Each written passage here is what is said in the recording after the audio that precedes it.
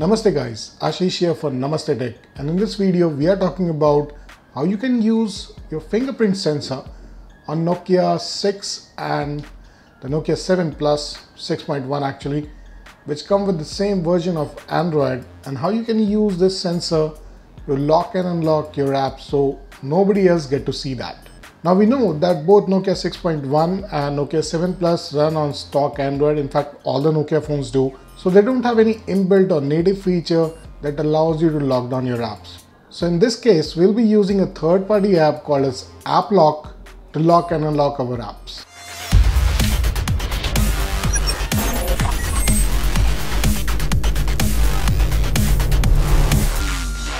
Just before we start, what you can do is go into the Play Store, find this app called as AppLock, install it and you will have to go through some of the basic steps. It'll ask you to have a pattern that is specifically for the app lock and an email ID in case you forget and you want to recover your AppLock password. So once installed, open it. Like you can see, it is asking me for a pattern. I'm going to put it in and it gives a plethora of operations and features. There are a lot of features that you can use, but let's stick to what we are talking about on locking down apps. So switch to protect and here you can see you have an option called as unlock settings. So it's a pattern thing. So you'll use the same pattern to unlock the apps.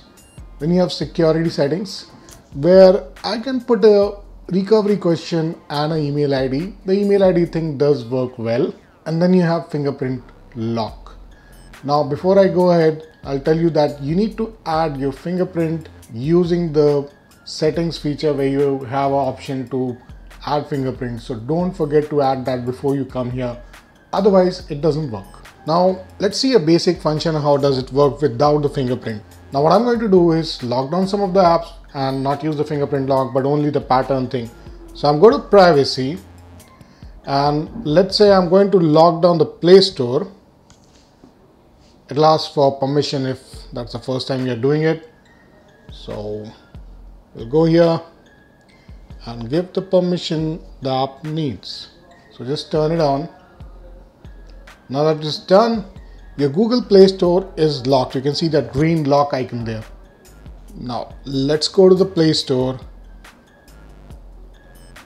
and see what happens. So you can see it's locked actually and it's the app locking asking for a pattern. So I can give a pattern and it unlocks. Now if I minimize it and go back again, it doesn't, oh, it did. I think something changed actually with the lock.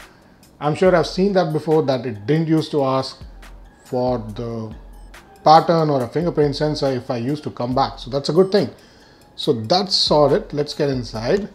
We'll open it up. Well, of course, it will ask.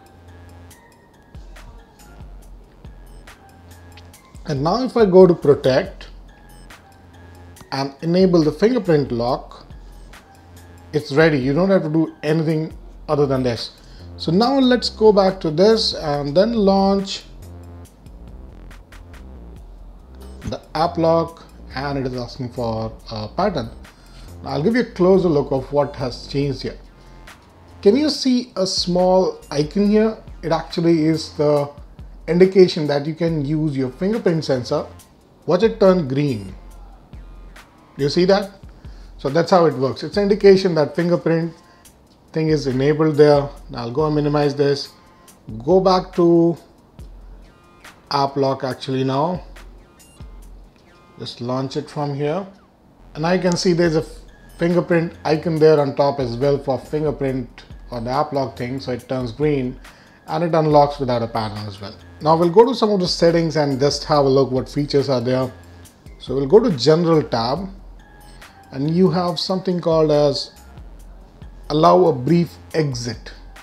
So if I turn it on, so let's say if you're switching between two apps and you don't want your app to get locked, so you just enable this and you just say like you know 30 seconds is not a problem if I want to come back. Then there's another setting called as relock after screen on. So it relocks all the application after the screen is locked. That's a good thing to do. We'll just enable it. Then we have called as magic setting, which has got like a hide app lock, random keyboard, cover. These things you can have a look on your own, but that's what we are sticking to the general one. And now if we go here and let's say launch the app lock, it has for a password. Just unlock it. So you can see that animation showed up. Now we'll wait for 30 seconds and let's see what happens. Oh, there's another feature I'm going to show you just uh, that's only for the stock Android version. If you long press on this, you get an option called as unlock all or a guest access that you can give to somebody to the apps you have locked down. So if you do unlock all, it'll lock it'll unlock all the apps and when you launch them, it doesn't ask for a password. Now there's one thing we should check actually, if we do multitasking, it still shows the preview of uh, what was locked. The Google Play Store was showing me app lock, it still shows that. There is no way to give a blur effect, something Vivo has done. And I think even MIUI has this feature, but it isn't available right now with the app lock. Okay, I guess we should be over 30 seconds. So if we go here, so it asks, now I'm going to minimize this and do it again and it doesn't ask. So you get the idea of that 30 second window. Now if I lock my phone, unlock it, okay, and if I go back here, well, it didn't work actually. So we'll go back to the settings of app lock, not this one. So we'll just go here. And if you go to protect, general, so we'll relock after screen on. So it doesn't really work, but it should work in general. But in any case, that's that's how the whole thing works. That's how you can lock all your apps on Nokia 6.1 and Nokia 7 Plus, even on the older version of Nokia, Nokia 8 Sirocco, any Nokia Android phone. Just install this app. Actually works with any phone, to be honest, with a fingerprint sensor. So that's your app to lock down everything on any Android phone here for Nokia 6.1 and Nokia 7 Plus. So guys, if you did like the video, do let us know in the comment section.